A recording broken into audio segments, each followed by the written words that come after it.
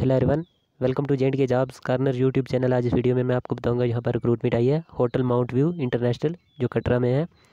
कौन कौन सी वैकेंसीज़ हैं उनको देख लेते हैं। कैशियर की दो वैकेंसीज़ हैं स्टीवर्ड की चार वैकेंसीज़ हैं कुक की दो वैकेंसीज़ हैं हेल्पर की दो वैकेंसीज़ हैं रूम बॉय की चार वैकेंसीज़ हैं असिस्टेंट कुक की एक वैकेंसी है।